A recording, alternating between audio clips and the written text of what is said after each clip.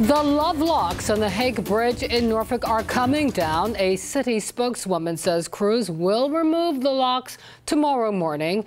There has been an ongoing fight about the hundreds of locks on the footbridge. Couples put them up as symbols of love. love. Others call them eyesores and a potential safety issue.